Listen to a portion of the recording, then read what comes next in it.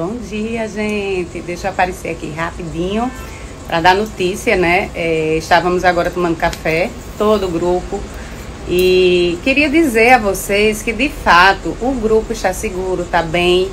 Né? Estamos aqui todos no hotel. A Arituba, ela está prestando um serviço maravilhoso para a gente.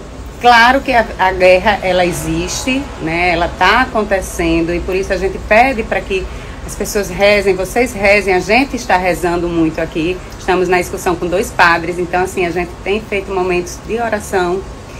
E desde ontem, que é um turbilhão de mensagens, né?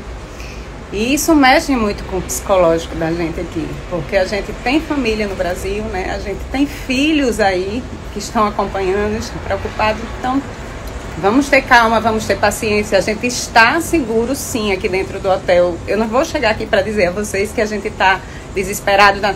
Claro que a gente está rezando e a gente está em comunhão aqui para paz.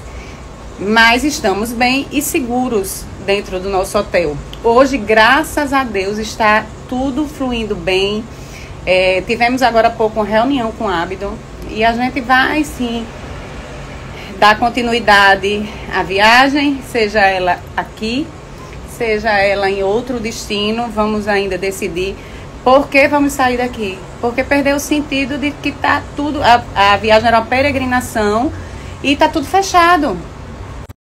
Então é isso, gente. Eu passei realmente para tranquilizar, porque meu direct tá assim, um turbilhão de mensagem, eu dei prioridade para estar tá respondendo meu, minha família, né, meus amigos e vim aqui para falar com todos em geral.